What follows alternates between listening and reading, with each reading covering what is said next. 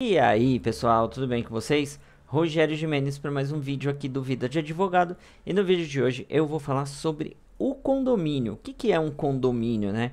E o que, que você pode fazer para é, encerrar esse condomínio que existe aí entre uma... Bom, assiste aí a nossa vinheta, já dá um like nesse vídeo, se inscreve no canal que passou de 26 mil inscritos e volta para entender um pouquinho sobre isso.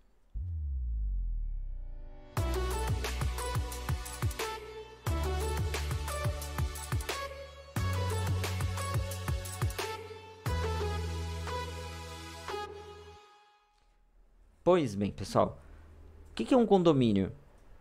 É verdade, pode ser esse que você mora, que de prédio, de casa, mas não é desse condomínio que eu estou falando, é do condomínio em si, geral. O que, que é um condomínio?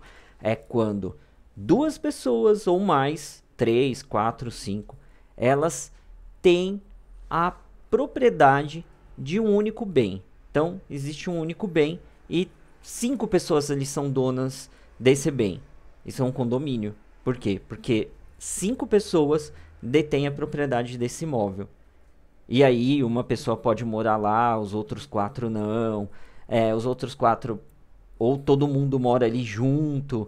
Então, existe um condomínio entre si, que é um imóvel com vários é, proprietários. E aí, como que você faz para desmanchar esse condomínio?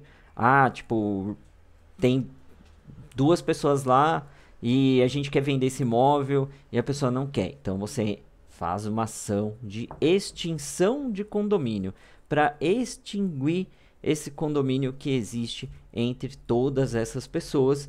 E se você quiser saber mais sobre a ação de extinção de condomínio, tem um vídeo meu aqui no YouTube falando sobre isso e eu vou colocar ele aqui no final para vocês assistirem também, tá bom?